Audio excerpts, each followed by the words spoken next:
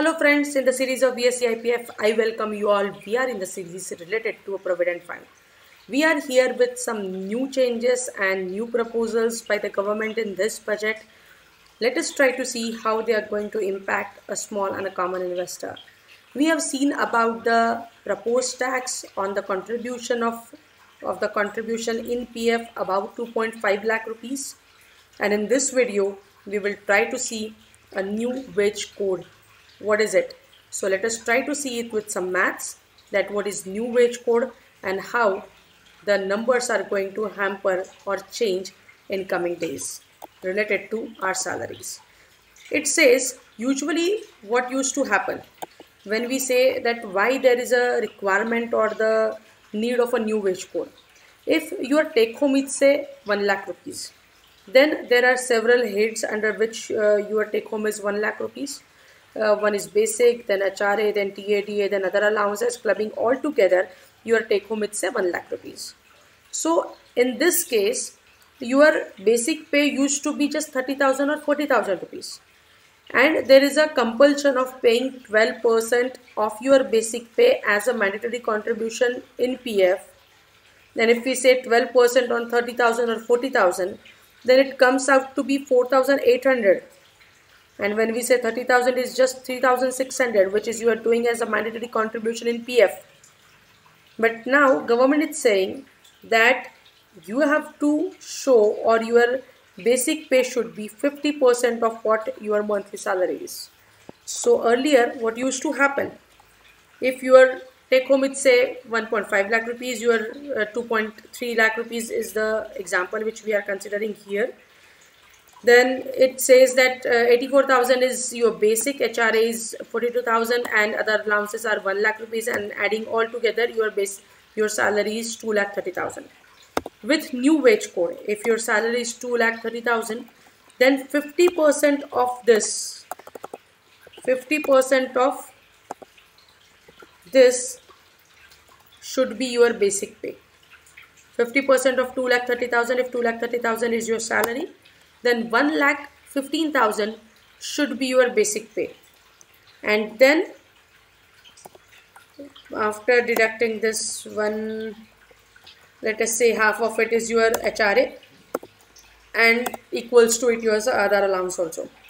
So if you are adding these three this 115 57 and 57 2 lakh 30,000 is your salary. And when in early days your basic pay was 84,000 and now it is 115 then what are the changes?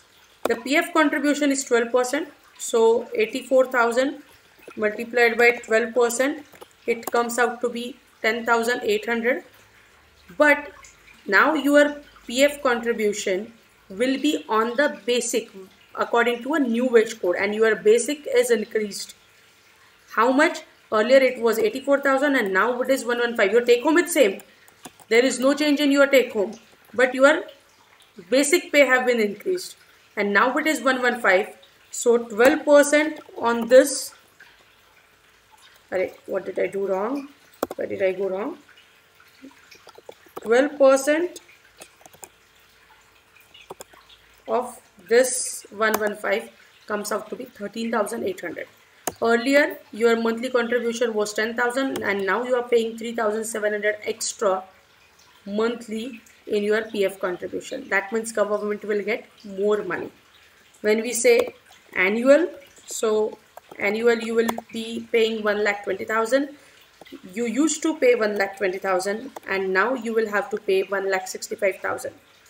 Maximum VPF. What is VPF? VPF, VPF, VPF is voluntary provident fund.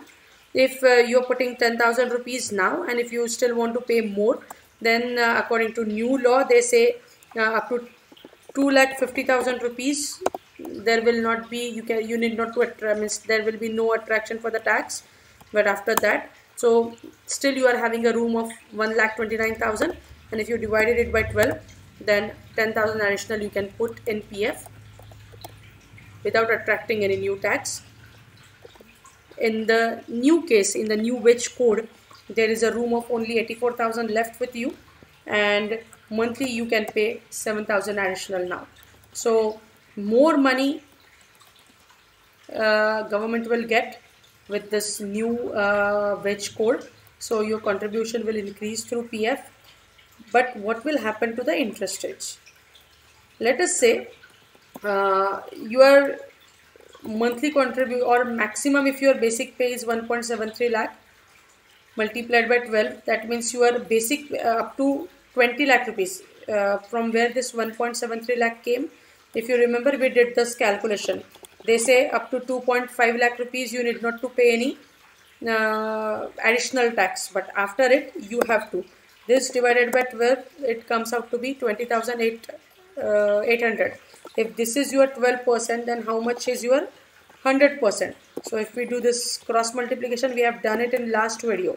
It comes out to be 1,73,000 so if 1,73,000 is your basic pay that means your annual payment is annual basic pay is 20 lakh rupees. This is your annual basic pay. And if your annual basic pay is 20 lakh rupees that means your annual income is in the highest slab of income tax or you are in 30% tax slab and in that case whatever money you are paying extra you will get lesser interest as a PF interest. This is a chart which we have brought from one of the maxims. Up to 2.5 lakh you will be getting 8.5 percent. If you are putting 3 lakh rupees you are putting 50,000 extra you are in additional you are in 30 percent bracket you will just get uh, 5 5.85% as an interest. Clubbing this together average you will get 8.06% if you're putting 12 lakh rupees a year then your uh, effective interest rate will be 6.4% this is how if you're putting more and more you will get less money so that if you're putting more government have to pay less to you so government will get more money in lesser interest rate. So this is the new wage tag this is a new wage code and uh, your basic pay is going to increase. So remember this. Uh, if you want to know more about any other interesting topic please suggest us. We will come back to you with that topic and the information related to it. Thank you very much for liking our session. Don't forget to write your name along with your email address in the comment section because because because that will make us possible to bring such kind of sessions for you. And yes all these sessions are uh, coming to you by BSE IPF and SEBI so don't forget to say them thanks because they took this initiative. They want to empower each small and common investor Thank you very much. Stay tuned.